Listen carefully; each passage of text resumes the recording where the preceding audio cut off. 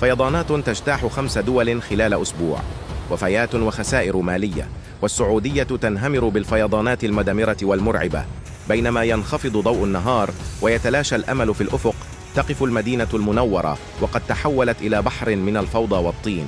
أصداء الصرخات تتلاشى بين هدير المياه العاتية والظلام يبتلع كل شيء.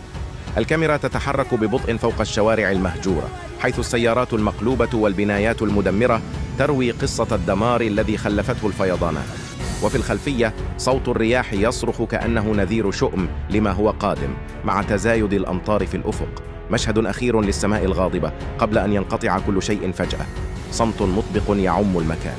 ضربت الفيضانات العارمة خمس دول مختلفة مخلفة وراءها وفيات وخسائر بالغة وسط محاولات السلطات في هذه الدول لإنقاذ الأشخاص المتضررين والنازحين. كانت السماء قد بدأت بالتحول إلى سواد غاضب وصوت الرعد يدوي في الأفق وكأنه إنذار بما هو آت فجأة انقلبت الحياة رأسا على عقب حينما انهمرت الأمطار بلا هوادة محدثة سيولا عارمة تكتسح كل ما في طريقها. المنازل انهارت في لحظات والطرقات تحولت إلى أنهار من الطين والمياه الغاضبة. تحركت الطبيعة وكأنها وحش مفترس لا يعرف الرحمة. لا شيء يمكنه إيقافه ومع كل دقيقة تمر كان الخوف يتزايد في القلوب ومعه يتساقط الأمل وسط أصوات الصرخات المطالبة بالنجاة. في هذه الكارثة لم يكن هناك ملجأ ولم يكن هناك منجاة فقط دمار وخراب لا حدود له. فيضانات السعودية تضرب من جديد وتؤدي إلى كوارث حقيقية. يا ترى ماذا يحدث في السعودية الآن؟ هيا بنا نرى الفيديو. ولكن قبل أن نبدأ لا تنسى الصلاة على النبي والإعجاب بالفيديو. الفيضانات المدمرة تجتاح المدينة المنورة بصورة لم يسبق لها مثيل. ضربت السيول العارمة المدينة المنورة جارفة كل شيء في طريقها بلا رحمة. اجتاحت المياه العاتية الشوارع وسحبت السيارات بقوة إلى مصير مجهول. وثق الناشطون على منصة إكس لحظات مرعبة تظهر فيها المياه وهي تجتاح حي الشهداء بقوة لا يمكن وصفها. ارتفعت مستويات المياه بشكل سريع مغطية الطرقات وجارفة كل ما يعترض سبيلها من مركبات وممتلكات مخلفة وراءها مشاهد مؤلمة تعكس غضب الطبيعة الذي لا يرحم. تعرضت المملكة العربية السعودية لأمطار غزيرة أدت إلى سيول جارفة غمرت عدة مناطق وكان حي الشهداء في المدينة المنورة من أكثر المناطق تضرراً. انتشرت مقاطع الفيديو على منصات التواصل الاجتماعي وأظهرت قوة هائلة للمياه التي تدفقت بسرعة كأنها تنين هائج. محطمة السيارات ومهددة البنية التحتية بانهيار كبير. المشاهد أظهرت السيارات وهي تتقلب في الماء والشوارع التي تحولت إلى أنهار من الطين والركام مما لخص حجم المأساة التي حلت بالمدينة. في خضم هذا الكابوس أصدر المركز الوطني للأرصاد في المملكة تحذيرا عاجلا مصنفا ضمن الإنذار البرتقالي. محذرا من خطورة الأمطار المتوسطة التي تترافق مع هذه السيول الجارفة. شمل التحذير كامل منطقة المدينة المنورة محذرا من احتمالات إضافية للفيضانات والانهيارات الأرضية بينما تكافح السلطات المحلية للسيطرة على الأوضاع وحماية السكان. تعد هذه الفيضانات التي اجتاحت المدينة المنورة تذكيرا قاسيا بقوة الطبيعة التي لا يمكن التنبؤ بها والتي تستطيع في لحظات تحويل مدينة كاملة إلى ساحة من الدمار والفوضى تاركة سكانها في صدمة وقلق.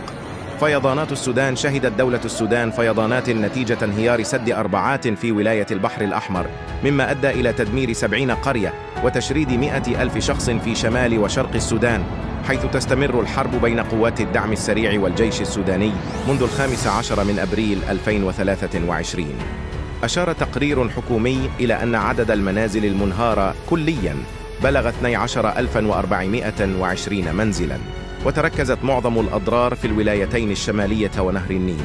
وغالبا ما يشهد السودان أمطارا غزيرة تسبب سيولا وفيضانات بين شهري مايو وأكتوبر من كل سنة. مما يلحق الأضرار بالبنية التحتية والمحاصيل ويشرد عائلات بأكملها. وغمرت السيول منطقة أربعات شمال مدينة بورت سودان على البحر الأحمر يوم السبت مما تسبب في انهيار سد أربعات وجرف قرى بأكملها.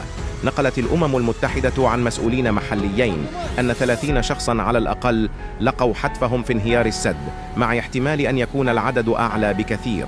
فيضانات اليمن في مأساة جديدة ضربت اليمن. اجتاحت سيول مدمرة مناطق واسعة في غرب البلاد مخلفة وراءها عشرات القتلى والمفقودين وحالة من الذعر والدمار. تسببت الأمطار الغزيرة في انفجار ثلاثة سدود مما حول القرى إلى ساحة من الفوضى. لقي 24 شخصا مصرعهم ولا يزال 17 آخرون في عداد المفقودين وفقا لتقرير صادر عن إحدى المنظمات الأممية. سلط التقرير الضوء على حجم الكارثة التي أصابت مديرية ملحان في محافظة المحوية يوم الثلاثاء الماضي. انفجرت السدود الثلاثة كقنابل مائية مطلقة سيولا جارفة اجتاحت القرى والمناطق المنخفضة مما أدى إلى دمار واسع طال المنازل والبنية التحتية. تشير التقارير الأولية إلى تضرر 1020 عائلة وفقدان 41 شخصا بين قتلى ومفقودين. بالإضافة إلى ذلك تم تدمير 40 منزلا بالكامل وتضرر 230 منزلا آخر جزئيا. في ظل هذه الكارثة تستمر جهود فرق الاستجابة الطارئة في سباق مع الزمن للوصول إلى المتضررين وتقديم المساعدة اللازمة في محاولة يائسة للحد من تداعيات هذه الفيضانات المدمرة. أمطار وفيضانات الهند تعرضت الهند لأمطار غزيرة وفيضانات أودت بحياة 15 شخصا على الأقل وفقا لإعلام محلي.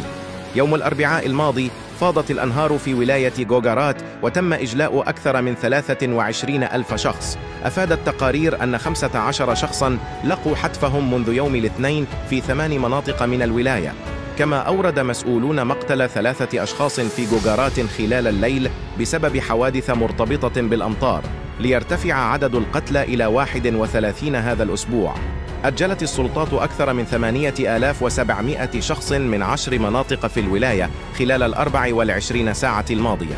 فيضانات باكستان في باكستان لقي 12 شخصا حتفهم يوم الجمعة عندما انهار منزلهم بفعل انزلاق للتربة نتيجة أمطار غزيرة. وفقا لتصريحات فرق الإسعاف.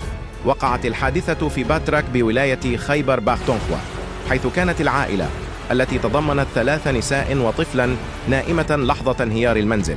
تشير الأرقام الرسمية إلى أن الأمطار الغزيرة التي ضربت المنطقة منذ بداية يوليو الماضي أسفرت عن مصرع أكثر من 300 شخص. معظمهم في شمال غرب ولاية خيبر بختونخوا وولاية البنجاب المجاورة. أصدرت السلطات الباكستانية تحذيرات بشأن احتمال حدوث سيول وفيضانات بسبب هذه الأمطار. داعية المواطنين إلى البقاء في منازلهم حفاظا على سلامتهم. منذ مساء الخميس تشهد مناطق واسعة من باكستان أمطارا غزيرة مع توقع عواصف شديدة يوم الجمعة.